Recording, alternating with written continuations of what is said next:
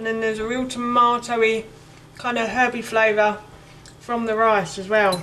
They really complement each other really well. You can't really taste the salmon that much either. Hi everyone and welcome back to Googies Kitchen and if you are new here then hello and welcome. My name's Alexis and in today's video I want to share with you how to make my delicious salmon and chorizo fish balls on a herby tomato rice. As I just mentioned today I want to share with you how to make my delicious salmon and chorizo fish balls on a herby tomato rice. So this recipe is really easy. It sounds slightly complicated, I know, but it is honestly very easy. And the first thing I'm going to do is actually remove the skin from the salmon before I put it into the blender. And I'm just going to show you how to do that. So I'm just going to take a piece of salmon from the packet. I'm trying to keep the plastic over the top because we've got a few flies coming in at the moment. I love fish, so that's why I've still got it in the packet at the moment.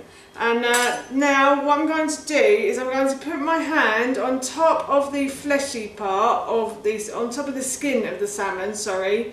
And then I'm going to just move my knife in between the skin and the flesh, wriggle it all the way down until I get to a point where I can't wriggle it anymore and I just take this last bit off.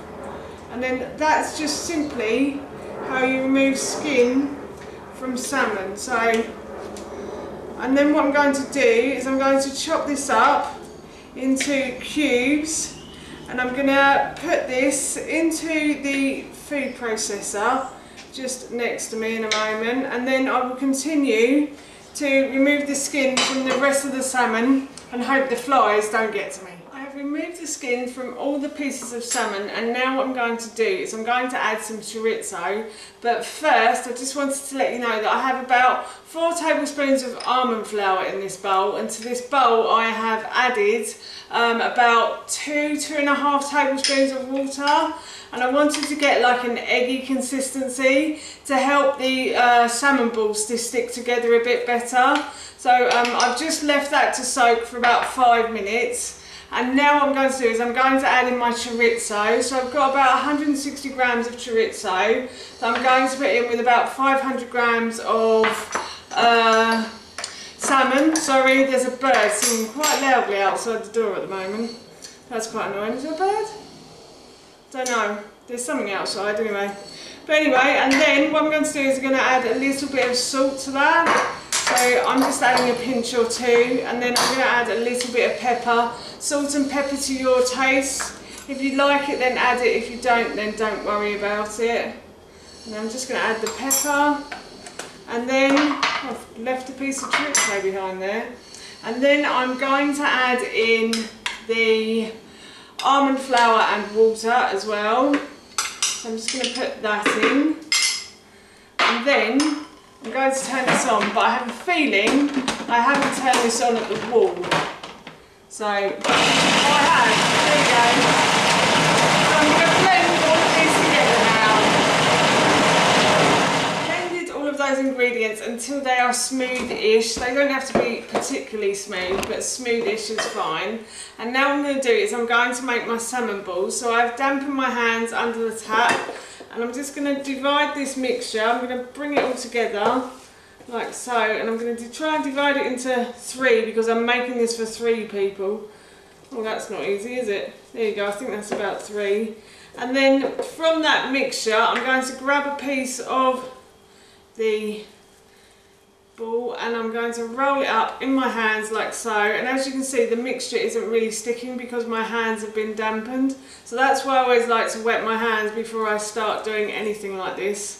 So um, I've as as you can see I've rolled the ball in between my palms and I'm just going to put that onto the plate like so and I'm just going to continue to do this until I've used up all of this mixture. As you can see I have finished making the salmon and chorizo balls so what I'm going to do is I'm going to put these into the fridge for a good couple of hours. A good couple of hours should be okay but if you could put them in for about five to six or preferably overnight it would be brilliant what happens to the fish balls is they tend to go hard and then when you put them onto a hot baking tray, so when I preheat the oven I should put my baking tray in at the same time, so when you put them onto the hot baking tray, the fat that's in the chorizo and the salmon should hopefully penetrate them and make them really nice and soft and tender. So as I said, I'm off to put these into the fridge for a couple of hours. The fish balls have been in the fridge for a couple of hours, so what I'm going to do is I'm going to preheat my oven to 200 degrees. I've also put a baking tray in the oven as well, so that's preheating along with the oven. And now I'm going to cook the herby tomato rice. I'm going to add a little bit of oil to the base of the pan, like so. And then I'm going to leave the pan to heat up. The pan is getting nice and hot now so what I'm going to do is I am going to add the onion to the base of the pan. So I've peeled, sliced and diced one onion that I'm just going to add to the base and I'm going to fry the onion until it starts to soften and become a lovely golden brown colour. The onion has started to soften and turn golden brown just around the edges so I'm going to add in a courgette now. So I have peeled and grated one courgette. You don't have to grate it. The reason I do is simply to hide it from my little family. Um, my husband and son aren't great vegetable fans, so I always tend to grate vegetables. But as I said, you don't have to. You could peel and slice it or peel and chop it if you want to. Um, and I'm just going to add that to the base of the pan. And I'm just going to fry that for a few moments just to penetrate it and get some heat through it basically. I'm also going to turn the heat down slightly as well at this point because it is getting a bit warm. Now normally I would add a little bit of water but because the courgette is quite wet I don't really feel I need to although it does look as though it is sticking a little bit to the base. So I'm just going to add a little bit of water to the base of the pan as well like so. And then to that, I'm going to add some herbs. Now in the original recipe, and I have made this video before I think, but in the original recipe and in the other video, I use dried herbs, but today I'm going to use fresh. I'm actually growing some in my garden, which I'm really proud of. So um, I am going to be using some thyme, some rosemary, some lemon balm, and some oregano as well, or oregano, depending on which continent you're standing. So I'm just going to add those to the base of the pan as well. And I'm just going to fry those around, just to give it some extra flavour basically. Herbs and chorizo actually go really nicely together as well. So I'm just adding these to add a bit of extra flavour to the rice and make the dish a bit more interesting. And these smell really lovely as well when they're fried. So yeah, I just wanted to do that for 30 seconds or so. And now I'm going to add in my rice. So I'm making this for my husband, my son and myself. So I've done about two portions and then a little one. And I'm just going to add the rice to the base of the pan. So what I like to do is wash the rice through twice before I then put it into the base of my pan and mix it around. I tend to fry it like risotto rice. It is brown rice, but it's perfectly okay to fry it like risotto rice. And I'm just going to fry it for about 30 seconds or so until it becomes sort of slightly clear and see-through. Brown rice never goes really see-through, but it will go it will go slightly clear. So I'm just frying this around and then I've done that and now what I'm going to do is I'm going to add some tomatoes to the base of my pan so I have one tin of tomatoes. I think the original recipe said one tin as well. So as I've got half of the ingredients, I'm going to try and use about half of the stock as well, but I will see. I will have to judge that. So I'm just going to add the stock, and I always tend to put it, if you've watched my videos before, you'll know that I like to put the stock into the tin to get rid of the juice around the outside as well. Just helps to clear the tin out really well.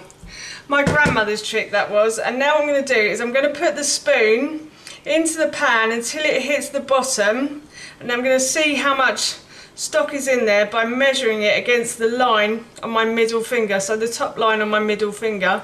I think I will need a little bit more stock in that to be honest just a touch and I'm just going to do that again. Oh yeah that's perfect now. And what I'm going to do is I'm going to add in some tamari to this as well. So I'm going to add in about a tablespoon of tamari. I think I said one to two in the original recipe. As I'm halving the ingredients I'm going to halve the tamari. Tamari is a soya sauce. It's a fermented soya sauce. So if you can't get it then you can always use soya sauce as well. Um, and I've added in a tablespoon of tomato puree to that as well. And I'm just going to mix those ingredients in. I'm going to turn the heat back up and I'm going to bring this to the boil. I'll put the lid on in a moment and then once it comes to the boil I'll turn it down and leave it to simmer. But I'm just going to pop the lid onto the pot and I'm just going to leave this to come to the boil. As you can see the pan has come to the boil so I'm just going to turn this heat down to a medium heat. I'm going to leave the lid on and I'm going to let this simmer until all of the liquid has disappeared. The oven has preheated and the rice is simmering away nicely so I'm going to pop the fish balls into the oven. So I took out the preheated baking tray and I put them onto the baking tray. This is a Pampered Chef stoneware baking tray so I don't need to add any oil to this but if you need to add oil to yours then please do.